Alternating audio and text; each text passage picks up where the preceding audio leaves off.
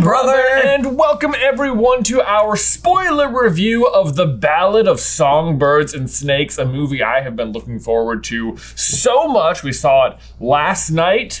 Are you, uh, are you, were you, what were, what were your initial thoughts? Oh my gosh, dude, I feel like you're overwhelmed. You're like, I you're like dude, bubbling out. Like, we haven't gotten to do a review in so long. I know, I know. It's very exciting. It's very exciting. Um, and we did spend a lot of time this summer um, Yeah. going through and writing some of our favorite fan theories, which I'm really excited to see. Like whether or not people stumble into. I'm sure we'll discuss some of them during today's review. Yep. Um, but yeah, no, I think honestly, Ballad of Songbirds and Snakes was like a really uh, fascinating addition to like the otherwise Hunger Games saga. I think it sort of like gives us a lot of understanding about President Snow as a character, sort of like where he came from, the implications of like what it was like for Katniss to emerge on scene in the first place, Yeah. like the the connective tissue across like what is a, a 65 year 64 year span of time Yeah. is un unreal It is crazy. I, I personally, like when I read the book, uh, I was like, this meshes together really nicely. The thing that I'm most curious to talk to you about today is that the book itself, The Ballad of Songbirds and Snake, Yep. is very long compared to the other Hunger Games Yes, it is. Uh, books, you know, themselves. Mockingjay was broken into two different films. We had all of Ballad inside of one mega film here. So curious to see what your thoughts were on how they packed all of it in with today's review. Hey, brother! Well, dude, I have to tell you that I think they did an amazing job It's- packing it all in. I think, I mean, I, I don't know about you, but I thought it was one of like the best like page to screen adaptations, like beat for beat, like that just I've ever seen. It, it was yeah. So and and this is this is what was like probably like the most prominent thing in my mind upon exiting the theater, which was that like I because I agree with you. I think that like it was like like whenever you adapt uh, this many pages to movie format, there is Right. always things that are going to like have Gotta to be like dri- you know dripping down Right. and, and not making it into like what you ultimately see on Right. screen. and, there was some of that present for sure. There was, and I think Yeah. some of it, you know, like like I think there were some things that were important that I would have loved to have seen, but but at the same rate, I'm not complaining because I feel like what they did, I think, was sort of a masterclass in in basically being able to provide a film that successfully conveys the overall message and narrative of the story without Yeah. leaving gaping holes along the way. Right. You didn't And- feel like, well, they left this out, and because they left that out, then you didn't understand this. Yes, and and so like the the really interesting and so to, to sort of like present some of my my overall feelings about the film, uh, kind of early on, but like what what was sort of amazing to me was like. I, I thoroughly enjoyed the movie and I actually think it's a fantastic adaptation. But like I think the the number one thing that was resonating in my mind was how much I appreciate a book Yeah. um, upon leaving because this story in particular is highly highly complicated in order you know from from a storyteller's perspective because you are knowingly telling the story of someone who is dark and dangerous Yeah. but also incredibly charming very likable Oh, I know. Like, there are times when you're watching, you just sort of like you're like sort of rooting for him, and you like feel bad for him, and you're like starting to emotionally connect with Snow. And then like I thought they did do a good job of anytime they let one of those moments linger, they're like, no, we need to quickly remind you this is the villain. Yes, yeah, yeah, Yeah. and and that's that's the thing too is that like you know when when people first saw Thanos, like one of the big things was like, oh, how relatable is this villain as a character, and like I think that made him really you know uh, like resonate with the audience because people are like, oh, it's it's a different kind of villain that we're seeing, and I and I think that this is in a similar category where it's like you're you're watching it and you're just like you said, I mean you're you're kind of rooting for this guy, but then you're like, no, I can't be rooting for No, this guy, but this guy, and it's um, like, but uh, and for the most part, like until the end, he is sort of walking that line. There's like the two objects he used to help like win the games with, and like um.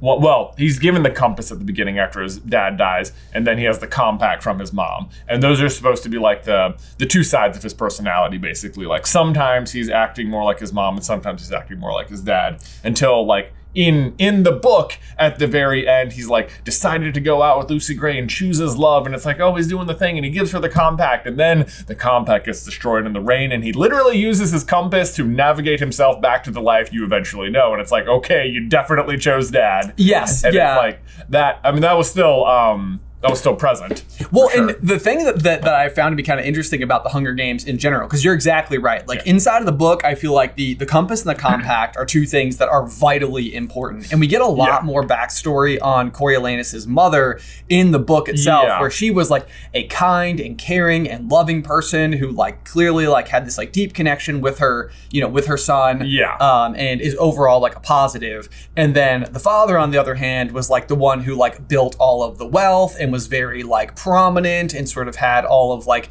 these good things. Uh, well, not good things, but like you know, it, it like elevated them to uh, the the kind of like status that the Snow family like has otherwise like known for most of their life. And inside of the Hunger Games, it feels like they frequently do this with each of the the main characters' parents. Is that you usually have one one parent that the character draws strength from, and the other parent that is basically like represents like their weakness. Yeah. So like Katniss has this like where when she is pulled into the games, she can either be resourceful like her father was, or just like crumple like you know her mother did Right. in, in the wake of the loss of her father, which in its own self is you know an understandable reaction to those circumstances. But then like Peeta is the same way. Like you know he has a father who's like incredibly like caring and loving and warm and thoughtful, and then like the mother who's kind of like, Like, dark and Yelling mean at him all the time, and Right. yeah. And and all throughout, you know, like Peeta could look at Katniss and he could look at the way that like that like he their their relationship has been forged and he could take like the mother's perspective and be like you used me. Like you made me believe you loved me and like you Right. didn't. Like and he could turn sour and Peeta doesn't. He holds true to like his positivity. So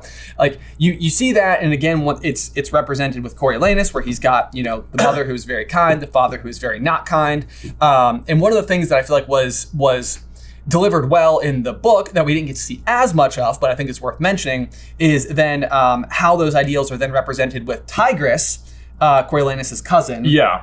and uh, the Grand. Gall. Oh, I was gonna say Oh, the Grandma'am. okay. Um, just as like the two, the two um, direct family members that he still has, Yeah. like with him. Yeah, there's definitely the Grandma'am who's like pro Capitol at all times, and then Tigris who's a little more like there's good in everybody. Exactly. Yeah. Yes. But there, Yeah. I mean, I sorry, I said Dr. Gall because there was one scene literally where they cut from like Dr. Gall having this like like one-on-one message with him, like this is how things are. Power is everything. People are animals, and then they cut to Tigris, and she's like, I just feel sad. Right. You know, it was like, oh, okay, they're the shoulder angels here. You have like the good side and the bad side. That's that. That's Yeah. true. And so maybe maybe for the the film's purposes, they they gave some of the Grandma'am's like because ult- the Grandma'am inside of the story is sort of like she's like I want to go back to the old days, like when your father was like the big wig and everything was amazing and we were wealthy and we could show that wealth and Right. Blah blah blah. Like we want to be able to like present uh, in like a very showy kind of way. And then I think Tigris is much more like this war was incredibly difficult, not just for the residents of Panem, but also for us here in the Capitol. We had to do some really dark and like difficult things in order to like find our way through. Yeah. You know, so like we want to see the world um, improve as a result of this. Like this was the dark days for all of us, Capitol included, but like not not looking at the residents of the rest of the country Yeah. as like less than. They inc- they did inc- so the when the movie starts, they did include a scene in the movie that was not in the book, Which where is- they like show you like the dark days, like what young what young Coriolanus and Tigris are doing like during the initial war before the Hunger Games have ever started, and they're like out on the streets like collecting food. collecting food. I- I do think that in the book there's a scene where they witness somebody like basically uh, turning to like cannibalism, Right. as like a, a means to sustain, which Okay. is part of what they they show. Yeah, us, I mean like, they do show that in Yeah. the in the movie right away. Um, they removed, I guess, or maybe just didn't include the part. Or there's a there's a mention in the book of uh, things Tigris had to resort to during the dark days Yes. that was not present in the movie. Yeah, and Um, that probably for the that better. I mean, that, yeah, that's that's a that's a complicated piece to work in, and like one of our big overall theories about Tigris in general, and and part of the like, I was almost excited for the film to come out because I was like, people are really going to start to appreciate Tigris as a character, and like because if if you're unaware, the kind of like cat like woman in Mockingjay that like takes in Katniss and Yeah. her crew, that is Tigris. right, that's the same character. That is the same character. And like when you meet Tigris inside of the Mockingjay saga, you have no idea that this person is of any more prominence than the fact that she used to be uh, one of the designers. What is the word for it? The Yeah, like stylist. The stylist. yeah. Um, one of the stylists from the games. Yeah. Um, but like, so if you're just reading through the original Hunger Games saga, you don't know that this person is that significant to the overall story at all. So when I started reading Ballad of Songbirds and Snakes and I see Tigris's name show up, I'm like, like what? really tigris is Yeah. like one of the key characters inside of this story. I know, but you can like sort of piece it together such that you realize, well, if like Tigress was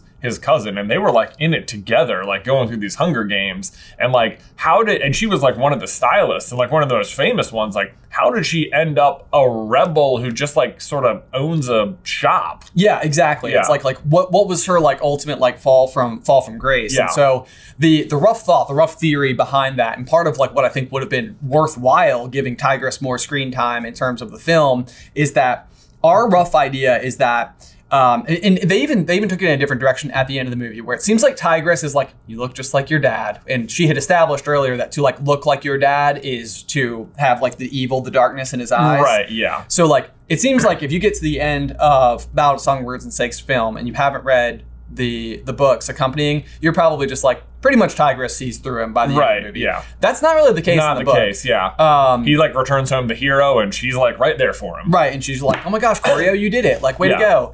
Um, but so our, our thought uh, on this one, or the theory, is that Tigris would basically grow up with Coriolanus, where they bring the games to the prominence that you see them as in, you know, like Katniss's time.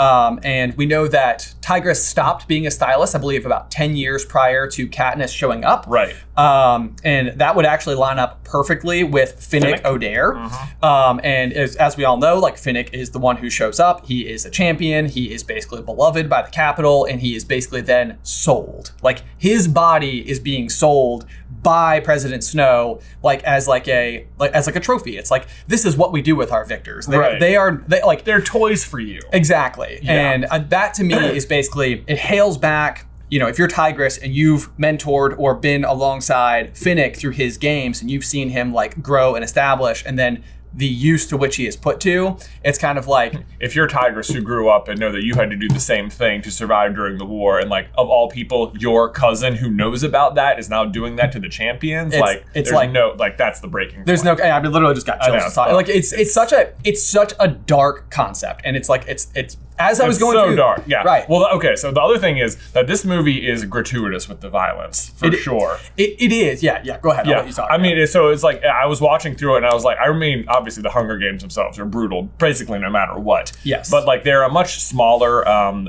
part of this movie overall. Like you don't spend nearly as much time in the games themselves, and even when they're happening, so much of it's from Coriolanus's point of view instead of Lucy Gray's. Right. But like when you're watching the people like do the actual like fighting and the killing, like it's pretty brutal. And they, I mean, they they were just happy to have so many shots of gravity killing people in this movie. Like, and we get to see just the thud. Yeah. And it was like, ugh. It, I mean, it's like hard to watch, but like that is of course the point. Like they didn't have as much time in the games to sell you on how terrible they were. So I felt like they're like, well, the violence speak for itself because like you're supposed to feel really uncomfortable. it is, And- yeah. I mean, yeah. yeah. It's like this. This is the point is that it is not a spectacle. It is not a And, spectacle. um, but that's also like that's that's even really clever like filmmaking too because it's like you know like you the audience are supposed to like think like yeah this is not a spectacle this is not good that they're making the kids like kill each other or whatever Right. but like that's also the problem the Capitol is dealing with that it's not a spectacle Right. like they're trying to make it a spectacle where it's fun and there's pomp and circumstance and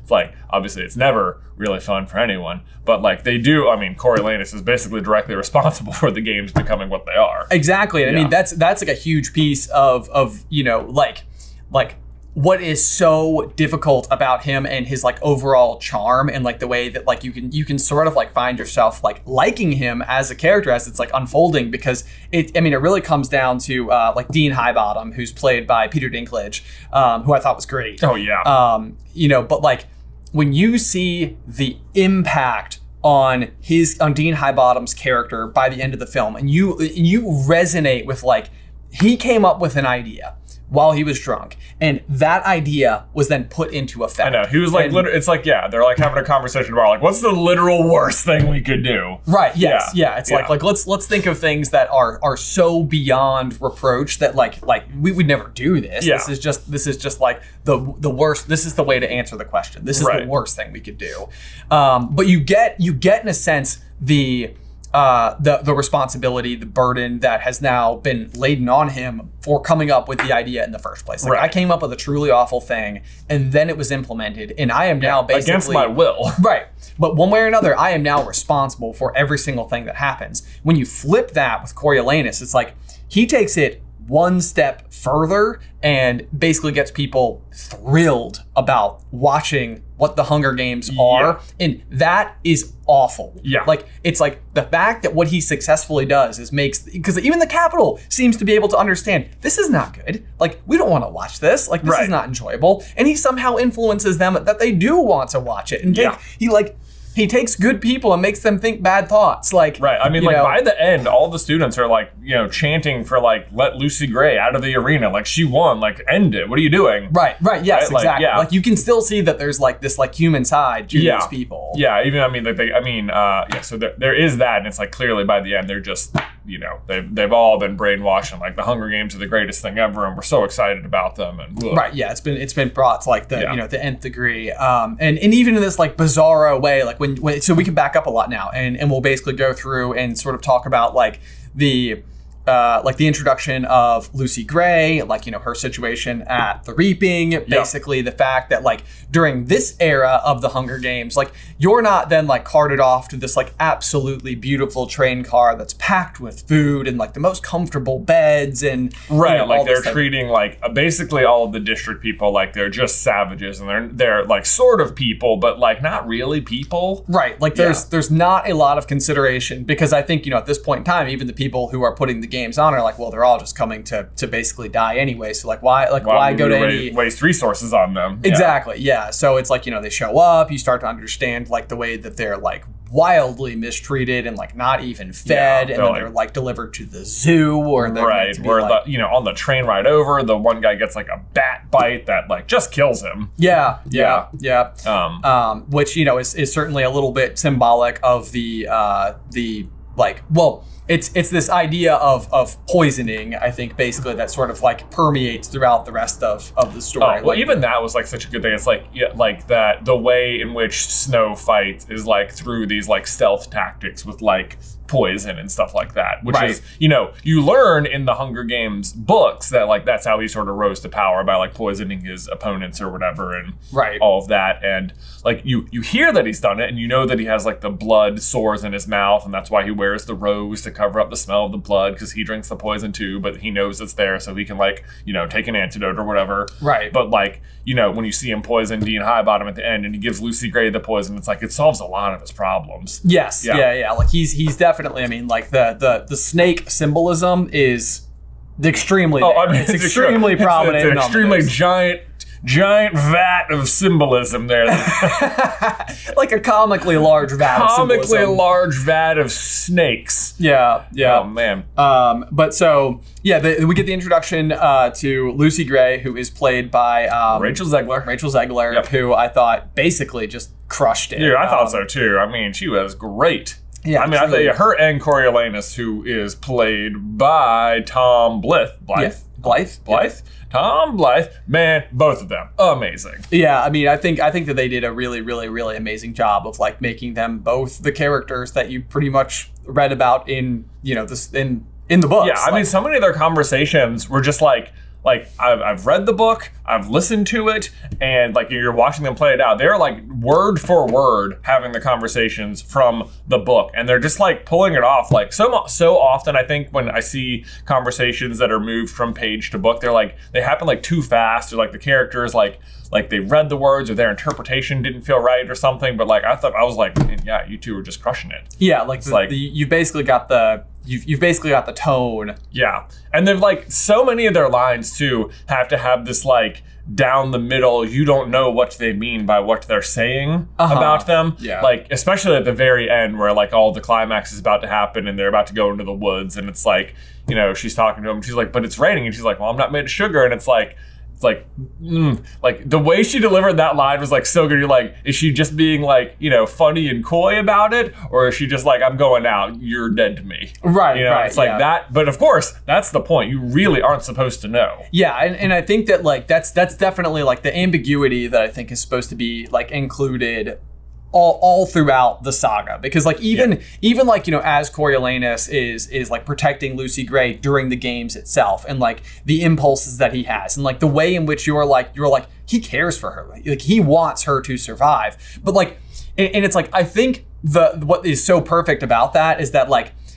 he does, but it's like he is still also being selfish. Like he has grown to care for her. Right. Like Lucy Gray. Right. He does like does he like her? He does like her. He Right. does care deeply for her. But it is still like a very like like if it wasn't Lucy Gray, he would be still motivated to win the games. And- Exactly. And, like that's what Yeah, he would They do that a lot. They're like, okay, there's no plinth prize. Do you still care if she lives? And it's like you don't even get a solid answer. Like there's like there's this like five minute gap where the plinth prize is off the table, and it's like, does Corio still care about winning the games or not? And then like three minutes later, Dr. Gall's like, if you do this, I'll put your name back in for the prize. And then it's like he's right back in it. But it's like in the meantime, did he care? We don't know. We don't know, yeah. And Yeah. I, I, I still think he does, but I Yeah. think again it's like it's like it is still motivated by by like some amount of well I I want her. Like Right. And know. this this is something in the books that's a lot more present that they didn't really put into the movie. I'm not sure how you would have because it's mostly like self-narrated sort of thing in the books. But he he like refers to her as my girl a lot in the books, and not in a way that like oh that's my girl. It's like she is possess. I I, possess, her. Yeah. Yeah. And they they do like when they're doing the reaping and they're basically assigning like each person, they do they do use the phrasing which I thought was a nice like inclusion is and the girl from District 12 belongs to Coriolanus. They Snow. did, yes. And- I was like, ooh, that and- was good wording because that's exactly how he feels about it. Yes, and and I think that that was the way that the the film was able to Yeah, sort of be yes. like, look, we can't tell you that Coriolanus thinks that she is his, but like that is that is how he views her. Yeah. Um, as as you kind of like dig into it there. Yeah, I was I was pretty impressed throughout the movie though because like when you watch the Hunger Games, one of the one of the hardest things they have to overcome is that when you're reading it, so much of it is like you get all of Katniss's like inner monologue and like Right. you know she's not talking to anyone, so you just get to hear what she's thinking, and it's like how do they demonstrate that? On screen, so that you know what's motivating her all the time, and the same is true in the Ballad of Songbirds and Snakes, where Coriolanus walks into every conversation, and you can like, you know, you know, hear inside of his mind as he notices things in the room or the way people are talking or the you know the arc of their shoulders or whatever. Right. and like to help him navigate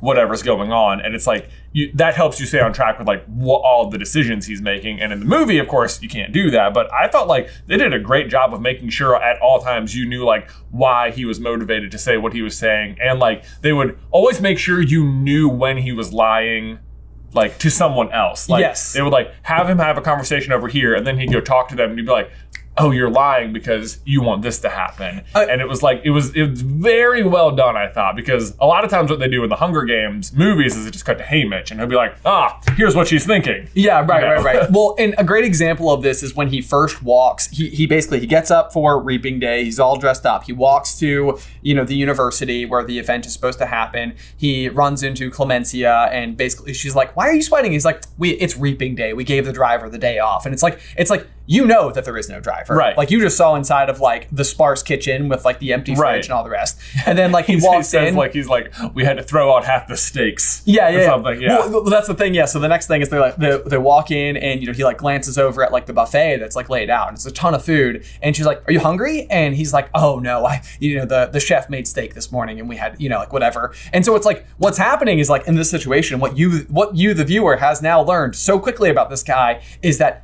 He did not have steak for breakfast. Like he Right. is starving. Like Right. he's looking at the food because he desperately wants food. Right. Um, but you can also then like you understand like this is someone who cares about how things are viewed, like what the perception of him is at all times. Right. He's always in control. Yeah. And I think that like then you have these like little moments with Dean Highbottom to your point where like you know then a few minutes later you find Coriolanus out like sort of like sequestered away and he has like food and he's eating it and that's when Dean Highbottom comes over and he's like you're like he sees through all of it. Right. He's like your your fixed up shirt, you know, like this, that, the Mhm. other. He's like, Yeah, I, I know the game you're too playing. close boy. fitting shoes or whatever Right. Yeah, yeah yeah. Like he's Whatever. he's seeing through the illusion. It's such, the the Dean Highbottom thing is really is I thought well done too because like you like when you're seeing everything from Snow's point of view, it seems like he's a bad guy, but by the end you realize that he just hates everything about all of this. Yes, and Yeah. this is the question that I would have for viewers who had not also read the books already, because like when you've read the book, you know the whole time that Dean Highbottom um, is in opposition to the games from the very beginning. But if you don't know that going into the movie, this is something that I was I was unable to determine because they're also walking a line. Like Yeah. you know that Dean Highbottom works for the university. You know that the, the university in Panem is the one that like puts on uh, all of the Hunger Games, and so like your belief or understanding might be that. Um, oh my gosh, what's her name? Um, who is the uh, Dr. Gall? Yes, Dr. Yes. Gall. You know that Dr. Gall and him might be like a little bit like in opposition about like tactics and stuff like Yeah. that. But like you still do, did you, You believe still think he's pro Hunger Games? Yeah, exactly. That's Yeah. the question. Do you still believe that like he is he is basically for it? Because that is that is otherwise kind of a reveal at the end where it's like he's not. You know, like he he sort of like got got sucked into this vortex and now he's just trying to He's sort of in the it. same position Snow is in most of the time, where it's just like, well, this is my job, and you know, if I if I if I speak out against it, I'll lose everything. So I really can't, but I'll try and do what I can to stop it in the meantime. Exactly. Yeah. Yeah. Yeah. Speaking of which, what did you think about Sejanus in the ah, movie? Okay, so Sejanus, I thought I would say I think the actor did phenomenally. I thought I thought he was like it, it wasn't how I pictured Sejanus, but I was like by the end of it, I was like, now it is. Yeah. Um, which I thought was cool. But the thing about Sejanus in the books, and the thing about Sejanus as a character, is that Sejanus is right. Like, Oh, he- yeah. like he has the right opinion, the right views. Like his opposition is correct. Yes. Like, and but the thing that they do in the books uh, that I didn't think transferred as well to the screen is that like he almost comes across as this like nag or like a downer or something as he should because the Hunger Games is awful. Right. But like when Coriolanus is so like you know upbeat and proper and cool and Yeah. suave and, and, you know he has all these like characteristics. Sometimes you see Sejanus and you're like, oh come on man, can you just like I can know. you just give it a rest? And then it's like, but it's like, but no, but but no. Right. But the thing I thought about Sejanus in the film was that I was like, he's too compelling. Like it's like everything I- he's that saying. is exactly it. It's like the it- yeah. Okay, so what I wrote down, yeah, um, so maybe I'll just read it out here. Is like in the book he seems a lot more like kind and innocent with like a heart of gold, while in the movie his position is still very understandable, but he's so angry and obvious all the time. It's like almost no surprise in the movie that he gets caught. oh yeah, right, Yeah, right, yeah. You know, yeah, it's yeah. like he, he's like he's you know in the books he's like he's upset all the time basically, but you're sort of just like dude, you're like yeah, like come on, you're right. He kind of comes off as like a bit of a nag. Right. Like you like you know he's so nice all the time and like you know he's correct, but like somehow like Snow always is able to like talk some sense into him and stuff. It's like he's just so angry all the time in the movie that it's like yeah, I, I don't know, it wasn't. I mean, he's still obviously correct overall. Yeah, yeah. Um, yeah, and, and, and basically the way that he's he's going about like opposing everything that's going on. But um, you know, he Sejanus again is another one of these examples where we don't see nearly as much of it in the film, but we, what you learn about in the books is that he also has the two parents rule, where he Yes. has one his his, his uh, Ma Plinth. Ma Plinth is like incredibly nice, and she she too like holds true to things that she loved about her life in District Two, even though she now finds herself in this incredibly prominent position inside of the Capitol. Whereas like the father is sort of like the one who is like known for basically buying Yeah. Sejanus's way out of just every problem, Any problem known to man into, yeah. um, which is something that I do feel like they harped on really heavily. Like it was basically Coriolanus's like key uh, counter to everything Sejanus said. Like, well, it's easy for you to say. Your dad can just buy your way out of it. Like, Yeah, and which keeps being true. which also keeps being true. But like, even as a viewer, again, like we we know, like we we typically don't see the spoiled brat character as the one that you stand behind. Right. But like in this case, once again, it's sort of like it's like Sejanus is spoiled. He does have like a life that most of the people, uh, like you know, like, well, not even I can't speak for everybody, but like for Coriolanus, like Coriolanus knows the hardship he's he's going through, even Yeah. if the rest of his classmates have no idea Right. because he's putting on such a good act but um, that is like one of those things where it's like usually the the child of the of the rich kid who can get you out of all of your problems is not the one that's like that guy he's the one who's got it Right, yeah. Usually it's the the scrappy one who's like, yeah, coming from a worse situation. Right, right, yeah, right, Which, yeah. Usually it's the Coriolanus character who you're rooting so, for. so I, I actually think it's it's a it's a clever piece of storytelling where you've taken those two tropes and you flip them on their head in a way Yeah, that is, is right. a little bit different. where um yeah the it's, it'd be like if Malfoy was the one opposing Voldemort Right, and right. Harry yes. was like secretly just like, yeah, like. Death Eaters. Yeah. yeah. like wait a minute. No, that's not it. Yeah. Um, yeah, That's, it's- that was literally what it's like because he even has the blonde hair. Anyway. You're right. Yeah, Yeah. yeah, It's like it's like a dead ringer. You get inside of the games. You know, I thought that. Uh, oh, we meet uh, we meet Lucky Flickerman. Oh, Um, dude, I thought he was great. Jason Schwartzman. I, crushed it. he this was a prime example of having a top tier actor inside of a blockbuster flick who is just quite literally out acting every other person on screen and not because everybody else on screen wasn't doing a good job but because he was just amazing Dude, like he was so good. Like in the book, he's kind of like an annoying, blustering idiot, and it's like he's still kind of an idiot. Oh, he- yeah, right, yeah. absolutely. Like he is not understanding the ground. like he's sort of like like he's not understanding the gravitas of the situation. He's just more like it's all about me all the time. well, he's Yeah. like, yeah, this this is an example of somebody who's like, I've been called up to the big leagues, like, and I am Yeah. not wasting uh, this opportunity. Like, I am now prominent. I am now featured. This is exactly what I always wanted in my I wildest weatherman dreams. I love when he's on the phone with the restaurant In the high chair? In the high chair, when he says like, "Yeah, we need two in a high chair," and then he's like saying, "Can you push my reservation back? The games have gone longer than I thought."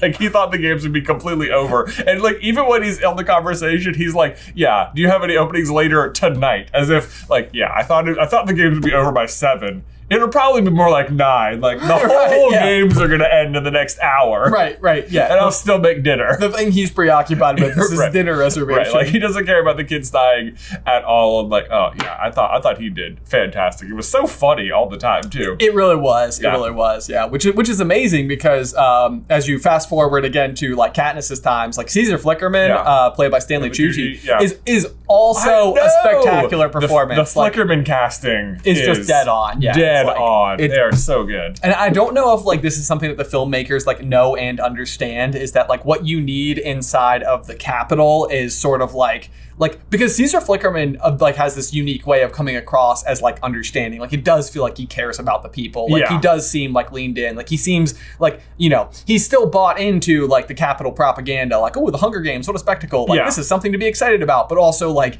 you know has the otherwise like connection with with each of the Right. you know people as they as they come through and does a good job interviewing and stuff but yeah so i think i think this is something that they're like this character is like while maybe not the main character while not prominent like necessarily In like his mind, he's the main character. in, in his mind he's the main character Yeah. but i think like they know that this is a character to put uh, filmmaking resources into and they do and it works Yeah. um, but yeah, no, I, I that was like one of those where I was just like, every single time he says something, it's like, God, that was the most tactless thing ever. I know. But it was like, but it's also oddly perfect in its Oh. own twisted way. This was something I didn't know if this was like a, a thing or not, but like if you ever try and look up maps of Panem, which sometimes we do for, you know, making the videos and stuff, like there's never like a real official map. Right. You know, all the ones you find are fan made. And like he's doing the weather report and they zoom out on the nation. And I was like, oh my god, that's like an official canon map all of a sudden. Now we know. Like there it is. Whoa. Now we've seen it. whoa. Yeah. Yeah. So I thought that was true. I was like, I, I, felt like that was like a nod. I don't, I don't know. My read was that like somewhere, like within the fandom, they're aware that they haven't shown you the official map, Like or what it something. looks like, yeah. And they're like, we're just gonna throw it in the weather report and be like, hey, hey, look, we did it. We gave you the map. now you've seen Like, what all Panem looks like. what, where the districts actually are. And like, one thing I immediately noticed because you know you're in North America, so I was like, okay, so like, where is District 12 like in relation? Because like, eh, you know, where we live in Virginia is very District 12. We're nearby. You know, we are we are on the We live- AT. we in live the in the Appalachian Mountains, Yeah, so. I was like, do we live where District 12 is? So I was trying to see where District 12 was in relation to Florida. And what I noticed immediately on the map is like, there's no Florida. So Florida's gone. oh So one of the theories about like what happens in uh, in the war, or like maybe what causes it, is that like the oceans rise. oh yeah. And so that they like actually, so the the the country itself is just smaller, which then you know it would make sense if the oceans rose enough. Like certain states just sort of go off the map altogether, which so that to me, that to me suddenly became a much more viable theory about like what initially causes whatever war happens Sure. is like some amount of climate change, the oceans rise, and literally the beaches, you know, the, the nation shrinks because some of it goes underwater. Right, right, right. Yeah, Yeah. which So then almost makes the Appalachian Mountains like one of- a natural, a pretty natural wall. Interestingly, I actually feel like this is something that is showcased and maybe intentionally inside of Katniss's first games. But there's, you know, if you picture a dome that is the games, like Katniss's like whole thing is just like I'll start in the middle and I'm just going to keep going this way, and then the game makers are like, nope, and they basically like they squish in the Oh, dome yeah. itself, and it's like if, Mm. if that's like the water level rising and you want to understand why conflict happened, it's because a whole bunch of people were forced from their safety and Wow, how thematic! I'm so bought in on this giant flood. Yeah, yeah. The Yeah. giant flood represents the flood. giant flood is the games. You Giant know, which is the games. I guess by the end of the movie, Coriolanus basically does say like, th- like the the games are not the games. Life is Life the games. is the games. and I am the victor. Boy. Okay, so uh, the um, the other thing that I thought was I was so curious to see how they were going to do was Lucy Gray's disappearance at the end. Yes. because like so in the in the book you get like the full ballad of Lucy Gray and there's like conversations about it and they really want to make sure you understand. You to like look at the lyrics and stuff and That- that's- that helps. That that's one of those examples where I think that like like like books as an art form, I think in this particular capacity, especially with what I think you're about to say, Yeah. it's like it's like where I think it's the correct medium for this story, like the book itself, Yeah. because because the Ballad of Lucy Gray is critically important to Yeah, to the ending. to how you interpret the ending. Yeah. And it gets kind of reduced to like a 30 second conversation where they start. Um, there's like a montage of them traveling out to the lake or something, and the you're you can hear um, Lucy Gray singing the ballad of Lucy Gray. right. And then it just sort of cuts to them, but like you might not even because it's like a montage, you might not even be aware that you should be paying attention to the lyrics, actually singing them. It was like one of those. I was like, I really wish I had captions on. I know, Yeah. yeah, the captions would have been nice. I thought the yeah, same thing. Yeah, that would have been good. So if you're watching it at home, put captions on. Uh, but then he sort of like they cut to them sort of just like laying together next to the lake, and he's like, "Does she survive in the song?" And it's sort of like, "Oh wait, was I supposed to be paying attention to the song?" Right, and Yeah, that's that's yeah. the movie. That's the actors nudging you to being like, "Hey, th- those words, those were important. They're, Those like- are thematic." Right? Yeah, Lucy Gray disappearing and you not knowing that's gonna happen. It's foreshadowing. Yeah, but, not just yeah. not just lost. So the Ballad of Lucy Gray, when you read it, is the story of a girl who goes out and gets lost in the snow. Right, As yes. in, as so like, Like- like it's very on the nose, but it's also kind of interesting because like the way, and th- this is what Lucy Gray explains to um, Coriolanus in the film is that she's like, it's a mystery. Like that's the whole point. Like, Yeah. you know, it's like like does she? Like I don't like to think she does. Yeah. Um, and then like even this is I, I couldn't tell. Maybe they said it in the lyrics in the movie, but like part of the um the way the the song ends is that like you're like um you're looking at her footsteps in the snow and they suddenly like disappear and like literally snow was like following her footsteps and they disappeared. I was like that was cleverly done. Yes, it was. I like that. That was I don't because I, I was like oh, I wish I knew if it was in the lyrics or if that was like a nod to the book and the actual song or whatever. So that being said, though, the thing that I think like like that that I feel like the movie did in a way that the book is much more subtle about is I would say my interpretation of the film is Lucy Gray survives. Oh, yeah. Like, I I feel like that is like That I was yeah, it was it, so when you're reading the book, I think the the ending is more suited to a book because you can there are so many layers at stake by the time you get to the climax where you re, like like you can tell Suzanne Collins does not want you to have like on on every point, everything you could point at to say no, Lucy Gray turned on him first, or no, it was him first. Right. Like there is like a, an air of mystery. So like in the in the movie, he finds that orange scarf, Scarf. on the ground and he picks it up and there's a snake and it bites him. It's Right. like that's also true. Like in the movie, it looks incredibly intentional. it looks like a by trap. Lucy Gray Yeah. to the trap. But- especially as someone who we've seen on numerous occasions have Handling a- a- snakes. a handling snakes. Right, exactly. But in the in in the book, it's like a torn piece of the scarf. And like he goes to look at it, and there's like a snake on the log next to it or something. right. It's like it's less like if you pick this up, you're gonna get bit, and more like it could have been a trap or an accident. Right, yeah. Like it's a torn piece of cloth. Did she tear it or did it get ripped? Did she put the snake there or was it just a snake in the woods? Like you're not quite sure. Uh, and like this one, like you see him shoot and like he definitely hits her, and then it's which also adds to the mystery of like is she alive or dead? Because clearly she was shot, but was she dead. Yeah, well, Yeah. And, and in this case, well, the thing that felt like the like the ringer to me is that you basically get to the end of the film and then you hear a voiceover from you know adult Coriolanus Snow, President Snow, Yeah. saying um, it's like the things we love the most that destroy us. That destroy oh us. my gosh, yeah. So that isn't present in the books either. But when I mean, first of all, hearing adult Snow talk at the end of the movie gave me chills. It was like, oh, that was awesome. That was Right, super it's- cool. What a great touch. Yeah. However, it super duper made me think that like the uh, Lucy Gray becomes coin theory was like, like oh, like that really makes you think that all of a sudden because like. That was the thing he loved the most, and Coin is who destroys him. Right. Yeah. Yes. Yeah. And and so that's that's sort of like as you as you start to like zoom back on this this like you know bigger conversation about like how everything ultimately comes together like we've we've made a it's a nearly hour long video that we titled like coins master plan Yeah. um and the the rough thought basically is that like at the end of Ballad of Songbirds and Snakes, we know that like Lucy Gray mysteriously has an outcome of some kind. And Right. and inside of the context of the theory, like we're basing it off the books, where it's it's very not clear whether or not Coriolanus successfully killed her, her down. Yeah, I really honestly last night what I thought they were gonna do because of the snake bite was that he was gonna have like hallucinations of some kind. Oh, where, like sure. you saw him think he shoots her and then he goes to check and she's not there and I thought they were gonna suddenly have her like appear all over the place. Oh, as if he's like hallucinating, like, wait, did he get her or not? Right. Oh, that's yeah, interesting. I- and, and I almost think they should have started the the Mockingjay thing a little bit sooner,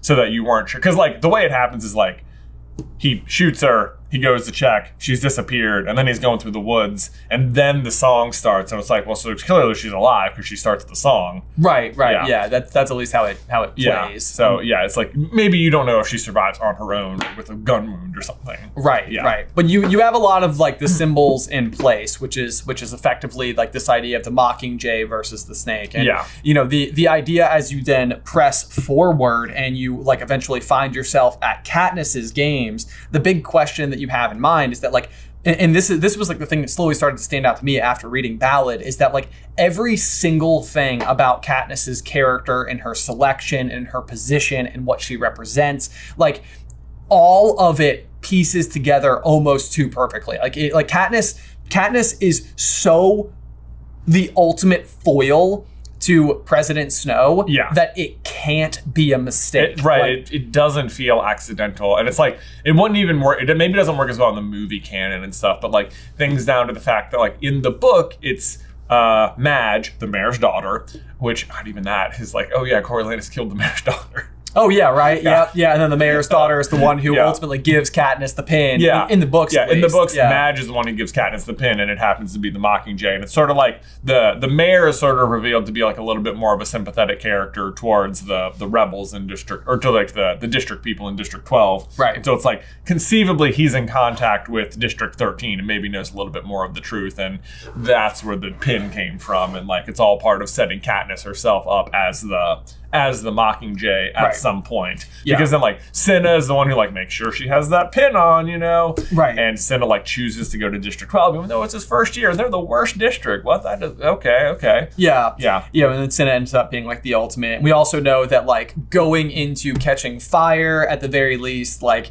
Cinna has already done the designs for the Mockingjay outfit. Right. Um, and so that means that like going into catching fire, he's clearly already had contact with Plutarch, who is already a game maker for the 74th Hunger Games, which And, means yeah. that like, you know, you you may have you know that Plutarch's been a rebel for much longer than the last year. Exactly. Right. Exactly. Like it, it takes more than a year to put together arenas. I Right. think is what he he tells Katniss. So that's also part of the theory is that like when you get into the arena, it's like Katniss lucks out so much that it's basically her backyard that they're fighting in. Right. And it's like, hmm, did she luck out or did super persuasive Plutarch Heavensbee and game maker who has the right ear of Seneca Crane convince him that this was the arena for this year because now is the time to act? Or- Right. Yeah. You know. Yeah. So there's there's it- it's like I mean you we could get into it, I know, but I yeah, feel like now it we're, re- not we're talking about the movie anymore. I know, yeah. Like you, you have to get you have to get so deep into it, but I do highly recommend you guys check out that theory because I think it's like it's supported in so many different ways, and I think it demonstrates the ultimate chess match between President hmm. Coin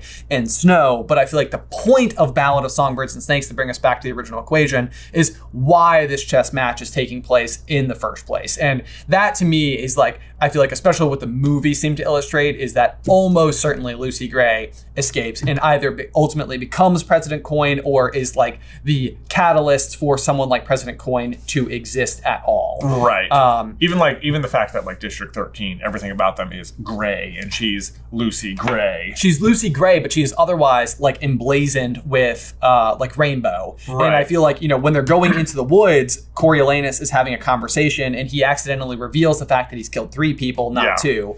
And when she's like, "Wait a second, you said you killed three people. I only know of two. Like Coriolanus, don't lie to me. Like who's the third person you've killed?" And what he responds with is, "Myself. I killed the old me, so I could come with you out on this journey." Right. And it's like it's interesting because he's saying that in that situation because it's a lie. And the question is, if Coriolanus killed Lucy Gray at the end, it's like he did not physically kill her. I don't think. I think he killed who Yeah. Lucy Gray was. Right. There's even like a description of like the color of Coin's eyes as like um like slush. yeah, it's like it's like melted snow. Like melted yeah. snow, and it's like ah, yeah, yeah, yeah. S- Yeah. Like yeah, it's the color of snow. Yeah, yeah. Yeah. How about that? Uh-huh. How about Wait, that? It's the color of gray snow. Right. Mhm.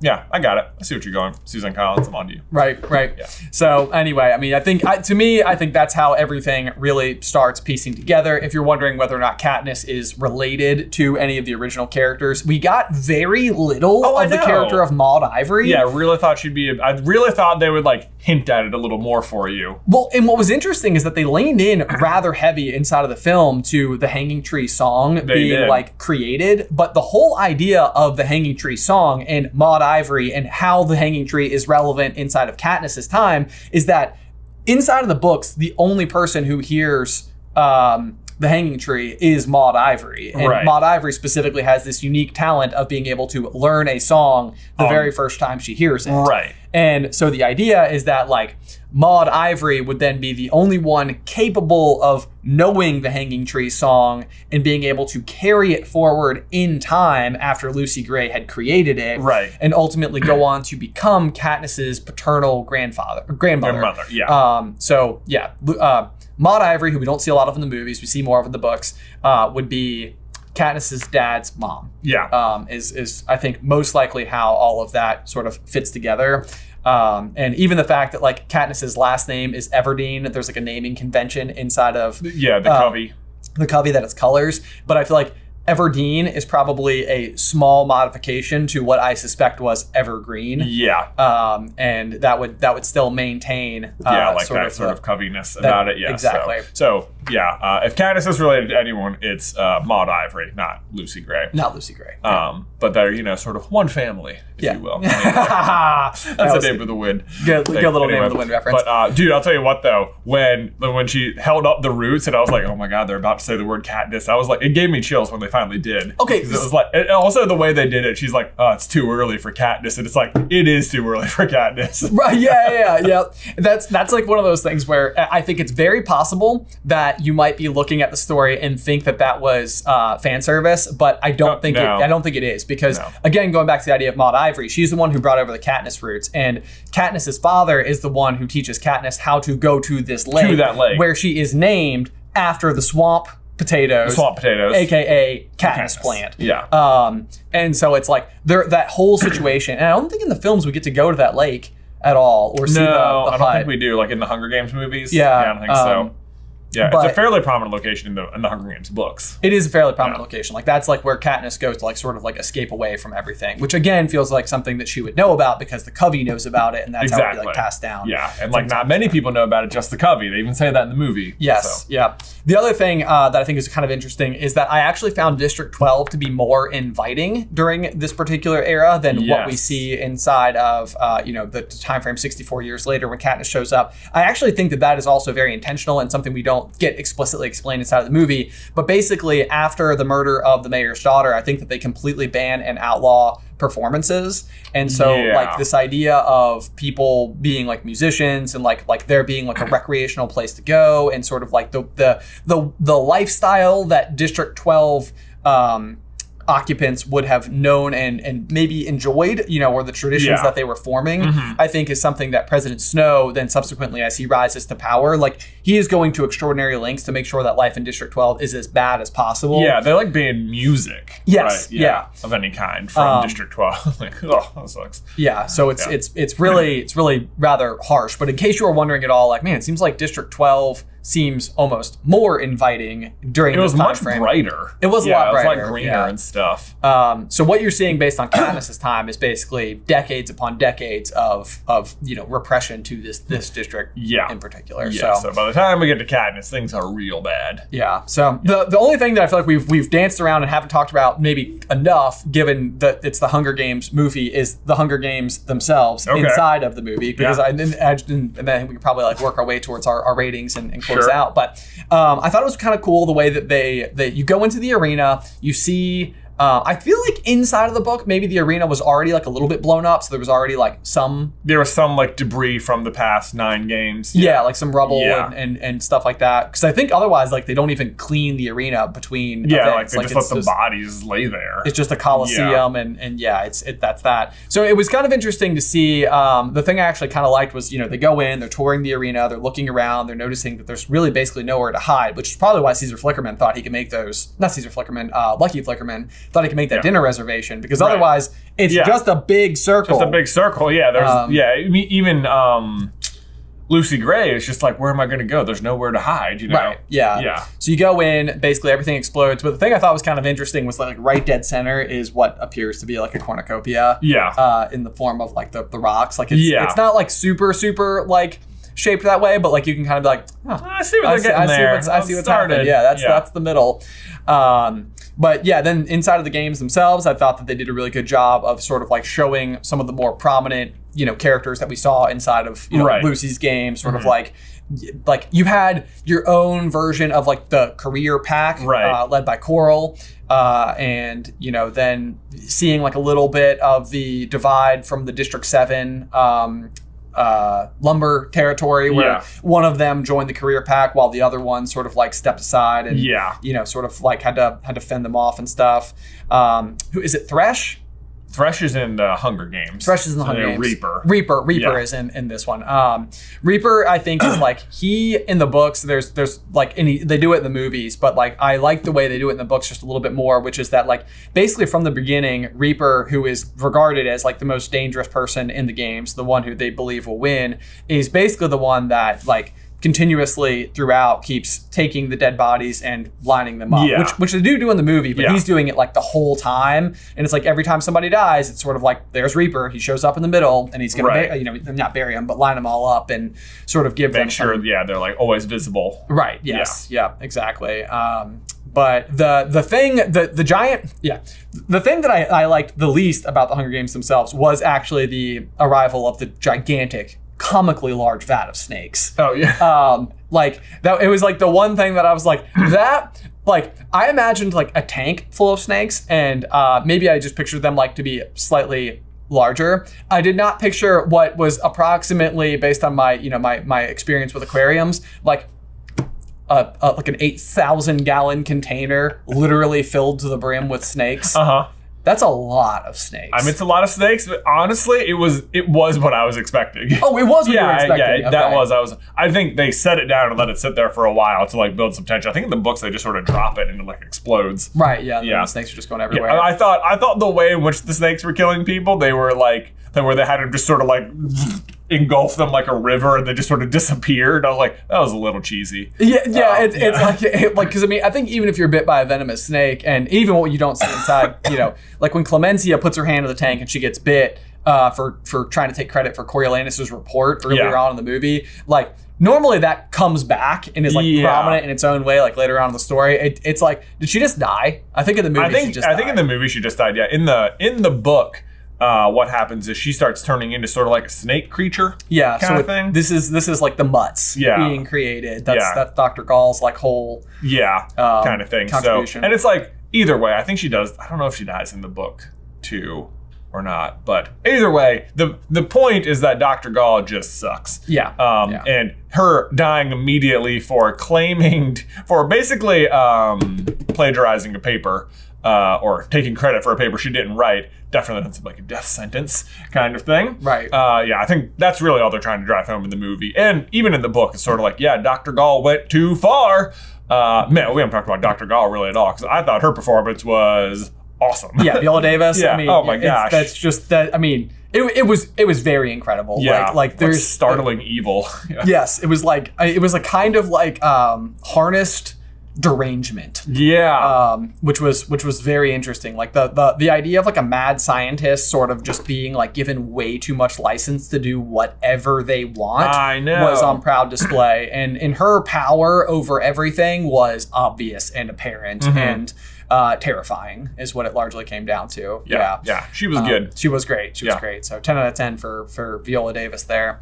Um, but yeah, so I mean, overall, I mean, I like I said from the very beginning, I feel like the as far as adaptation from from book to screen is concerned, I think that they they did a marvelous job. Yeah. I I mean, this this is not like a like oh the book's better than the movie because the movie was bad. I think the book provides a lot more layers to the story that the movie simply couldn't provide. Right. It felt like without this being like a like a 12 episode like you know, we're like 12 hour long saga, like you're never going to be able to Yeah, include no. everything. And I did. I mean, uh, just in like the little, you know, tiny conversation we had outside of the movie theater last night with the people we saw it with, I, I it seemed like there was some muttering of like I kept thinking it was over. Like you know, like it seemed like you'd reached the end and like oh wait, there's like you know, I think.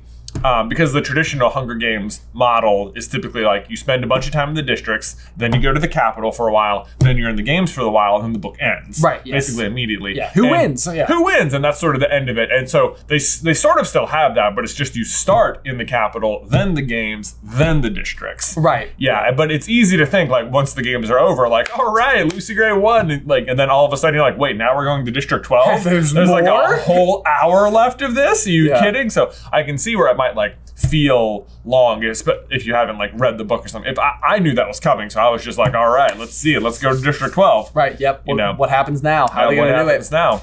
Um, yeah, no. So I, I I agree. I could see a lot of people thinking like, oh, I thought it was over. Oh, and then it kept going. Yeah. Um, sometimes I think I can grow on you. I think when we first watched the movie Moana, I remember like talking about the original trip to Te Kā, and I was like, why do we go and fight the villain twice? Yeah. And then it's like once I've watched it like 800 times, which is my daughter's favorite movie. So, um, like I'm like, oh yeah, it really makes sense. You- you Huge kinda- character growth. you yeah. kind of need both visits. Uh, but yeah, so I think that that's that's one of those where I could see people having that critique as well, where it's kind of like, um, you know, like it, it felt like, oh, the Hunger Games was over. This is a Hunger Games movie, so like Lucy Gray wins, hooray! Yay, then, you we know, did it! Like Coriolanus gets to be powerful now. Um, but I think it adds, you know, some additional some additional depth. It, it allowed more opportunity for their relationship, you know, to to ultimately unfold. Oh, which is yeah. absolutely vital to the story. Um, and and especially again that piece of major connective tissue between you know this prequel to the rest of the series Right. and how it all fits together. Yeah. Um, you got a score for it? I think I would probably give it like a like a solid 90. Okay, there we go. I Yeah. mean, I was entertained the entire way through. I thought, yeah, it was a fantastic adaptation of book to book to screen. I thought the performances were really good. I thought like the the the points they were trying to make about how much the Hunger Games suck and like the dangers of like this kind of government are all very present and obvious. yeah, yeah. Um, I just yeah, I like I enjoyed it. I thought it was really entertaining, and I would you know I I would definitely go see it again. Yeah, Um, yeah. No, I mean, I, I think basically across the board, I, I, I feel like you know, like being kind of reiterating the same sentiment over and over again. But I, I mean, I think it was just basically like, like I, I think it's a masterclass in in taking the such a long narrative, figuring out which beat bits are going to be absolutely essential um, for viewers to be able to like maintain the. Um, the necessary story elements without like changing anything drastically without Yeah. like introducing like an odd new character that feels like out of left field without being like well that just goes otherwise unexplained completely so like i think that like you know whoever the team was that was involved with converting this book to a uh, film script is something that lots of other um, Yeah. like you know like book to film adapters can learn from and and be like okay what was the way in which they, they kept all the tent poles in the right spots to Right. make sure that we're like covering all the necessary bits um you know and and so like any critique i have of it isn't isn't anything other than the what i keep coming back to which is i was like i just think that the book as a medium is just a is just a better medium for such a delicate story that's that's walking so many of these lines with so many different characters that Yeah. like are arguably like one foot on both sides a little bit um, but I also really enjoyed the movie, and I gave it an 86. Oh, nice, Um, solid. So yeah, Very good. I, I think it was. Um, I was definitely like I was. I was very excited for this movie for most of the year because I, I feel like we went into like a huge Hunger Games kick Yeah. over the summer. Um, I had a blast, you know, like the way that we were like researching Right. and delving into the theories. I would also say if you only read the Ballad of Songbirds and Snakes once, I would reread it. Yeah. Because I remember reading it the first time and being like, I was almost caught off guard by like, wait, Snow becomes like a private, like a peacekeeper for a while, and he goes to the district. I remember thinking like that was sort of a random turn, but like when I revisited the whole thing, I was like, no, that was all awesome. That was Yeah. all, yeah, it all makes sense a, a lot more to me. Yes, yeah, yeah. Yeah. yeah. I think it, it. And the other thing too, and, and this was even in the movie, this was catching me off guard. Even knowing all the characters themselves, but the names of all these Capitol citizens are so, like, Oh yeah, Clemensia and Sejanus. yeah, they're they're all Yeah. like like they're not names where you can you can like just park them in your brain and be like, oh, of course I've kn- I've known a James before. Like that Right. that name makes sense, you know. Um, so I think sometimes that can be like one of those things where you're like.